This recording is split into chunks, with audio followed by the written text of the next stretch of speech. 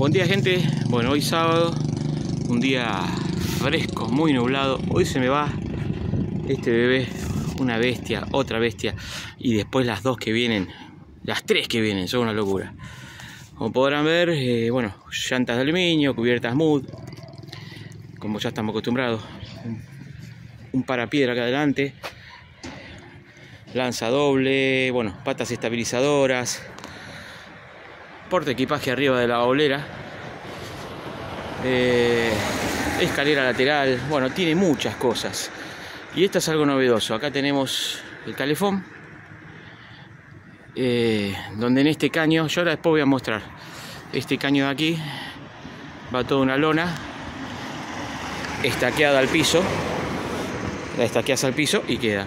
Como siempre, bueno, el calefón, le hicimos unos estantes de chapa para poner jabón y demás. Todo, todo con termofusión, flexible de acero, iluminación, con luz. Eh, te queda un baño portátil externo.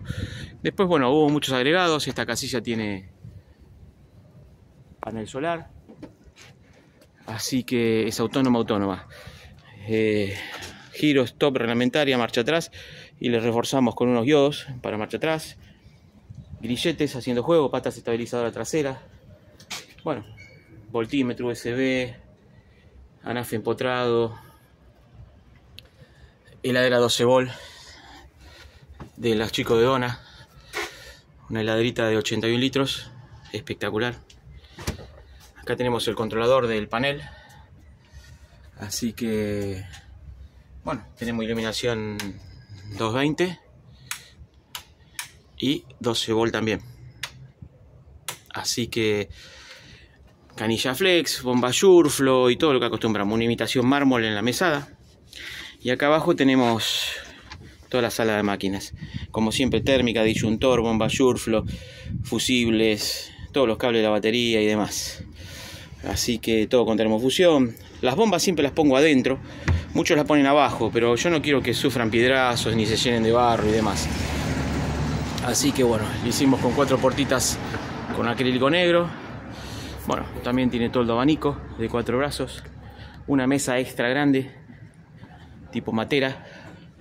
Eh, así que quedó muy lisa, muy, muy linda quedó. Acá tiene para poner la yerba, el azúcar, el termo, las galletitas. Está todo cerrado con un burlete. Eh, ¿Qué más les puedo contar?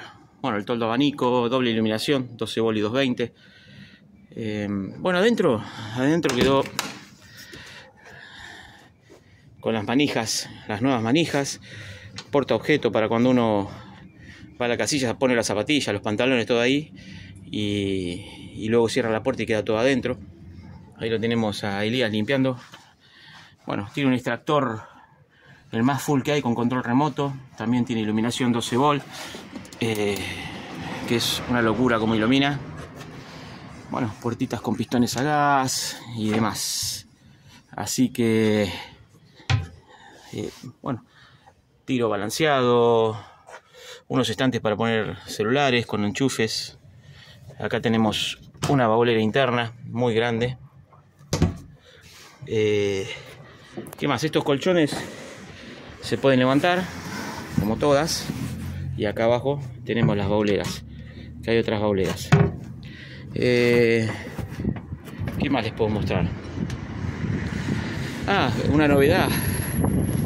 Eh, los cajeaditos en los laterales le hicimos como un rayadito, no sé si se ven. Bueno, todo un cajeadito adornando un poquito los laterales. Tiene unos buches allá ocultos, respirador de la heladera. Acá tiene el DBZ todo cajeado y con ventilación para la heladera. Así que, bueno, todas novedades. Acá tengo otra baulera, porta objetos y, y, bueno, fundamental, doble chasis, doble lanza, suspensión independiente. Así que ahora voy a, me voy a tirar abajo, tiene tanque de 100 litros. Suspensión independiente, full, resortes progresivos, amortiguadores, un tanque de cafito. Así que bien, bien full. Esta casilla se va bien, bien extrema. Así que bueno, estamos esperando a Néstor que la venga a retirar. Ahora después más tarde voy a sacar fotos con la casilla enganchada, que es una cosa increíble. Increíble. Eh, esta casilla está toda recubierta con polurea por debajo, eh, por pedido de Néstor.